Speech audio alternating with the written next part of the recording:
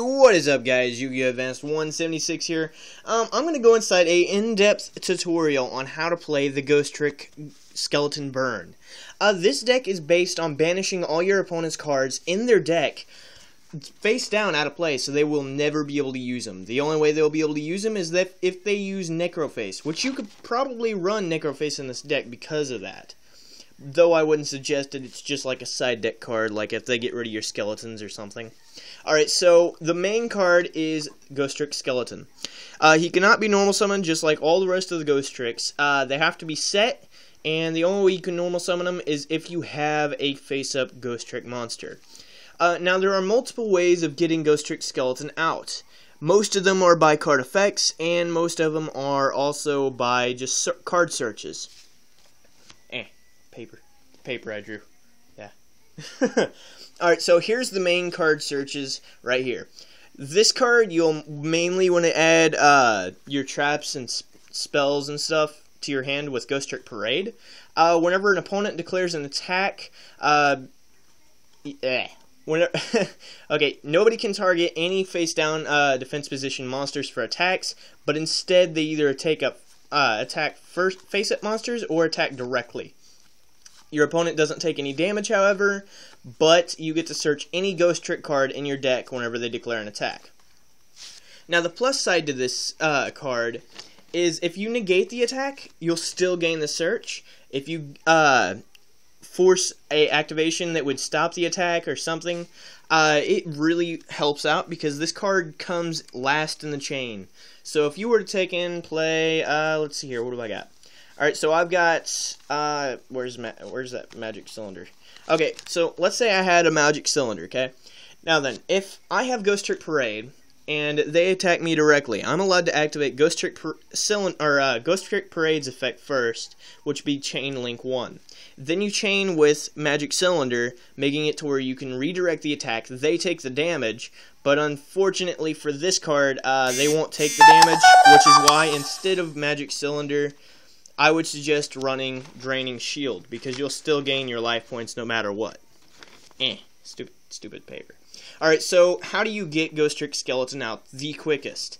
Well, you have two options of special summoning really quick.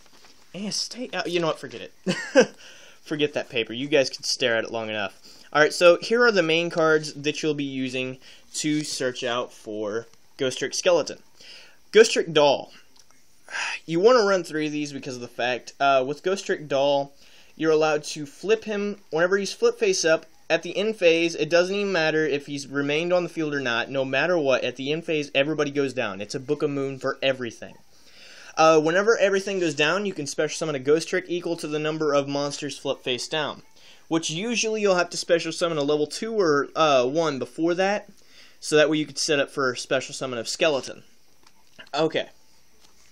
And not only that, but Ghostrick Shi, which I have two of them, which I really needed two, three. Uh, Ghostrick Shi, whenever he's face flip face up, you can search for any uh, Ghostrick equal to the number of Ghostrick monsters you control.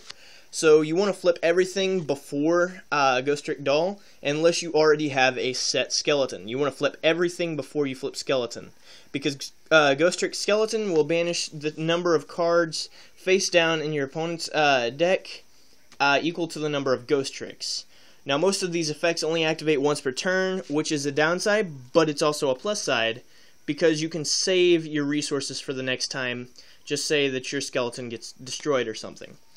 Now then, I know that this deck isn't exactly based on tribute summoning, but these cards really help in the summoning because you really run out of options uh, if they get rid of your two skeletons or three skeletons, how many skeletons you have. But Dark Monarch will allow you to uh, banish itself and cause for like a cowboy en ending, or you could take and banish one of their cards, just period. Uh, which is pretty cool. I mean, it's really a necessary card for this deck. It's not in necessary, it's complete necessary. Alright, so Dark Dust Spirit uh, it says whenever it's uh, flip face up, or if it's normal summon, you can destroy all face up monsters your opponent controls, which is really amazing with Ghostrick Go Around. Ghostrick Go Around, it doesn't even matter if you have a Ghostrick or not. If you have a face down defense position monster and it's during the battle phase, you can flip Dark Dust Spirit face up, and all their face-up monsters will die. So that means you will not take any damage this turn. Which you can also chain Parade to Ghostrick Go Around, making it to where you still get the effect of Dark Dust, Go Around, and Parade. So it's really a neat. I love how this deck is always consistent with their uh, main uh, searches. They have so many different combos. It's ridiculous. All right, so Ghostrick Ghoul. Ghostrick Ghoul. Um, this deck is. I mean, this deck doesn't really require him. I would use him for maybe an overlay for a wind up Zenmaines or that Alucard, which I don't happen to have because I'm still poor. uh, just a random out. Yeah. Alright, so the next card in this deck you really need. Well, in order to take and banish 10 cards at a time, you'll need to do it during your opponent's turn and your turn. So Ghostrick Scare flips all your Ghostrick monsters face up. That makes it to where you can flip all your opponent's monsters face down equal to the number of Ghostrick monsters you have face up.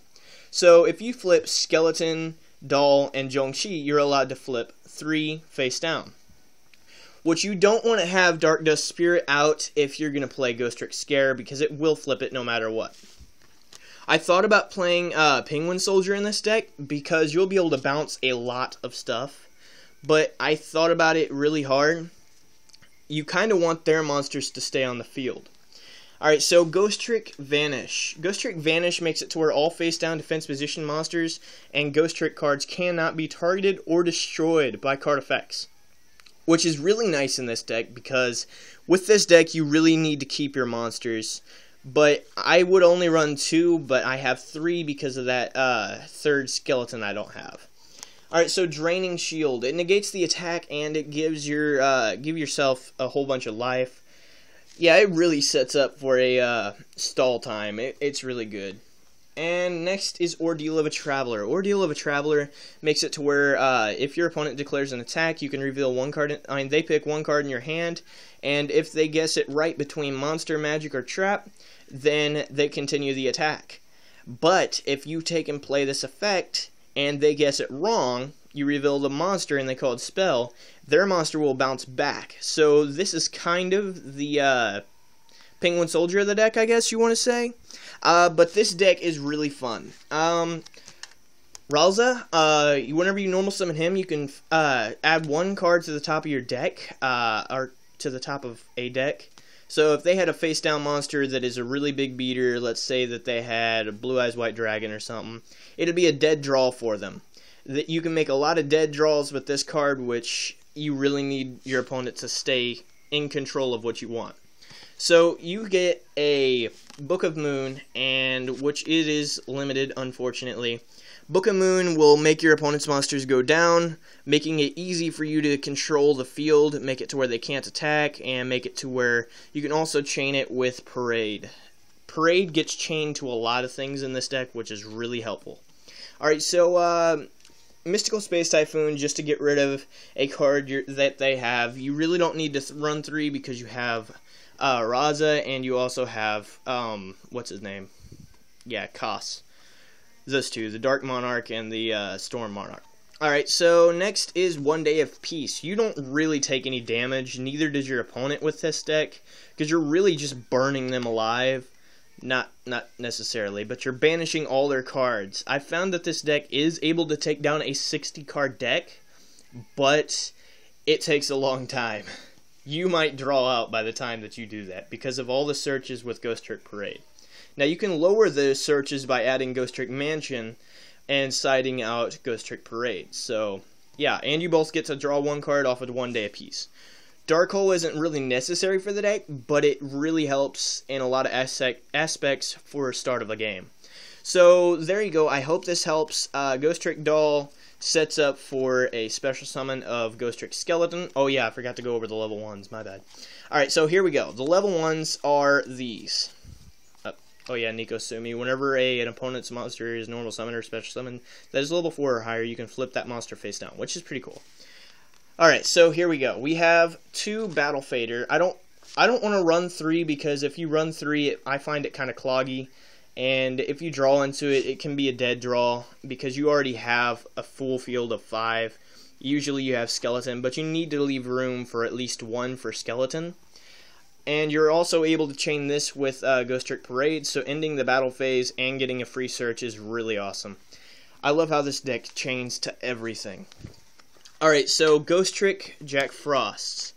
Jack Frost, whenever your opponent declares an attack, you can flip it face down and also set this monster.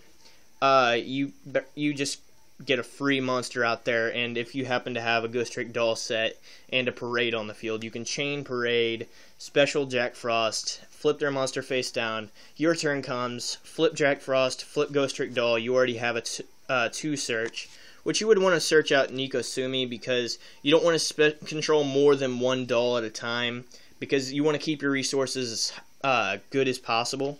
So yeah, I hope you guys enjoyed the information. Uh, I know this is only meant for one person, but I hope that this helps everyone. Also, Ghostrick Spectre, you only need really one because I don't find that your Ghostricks die too quickly.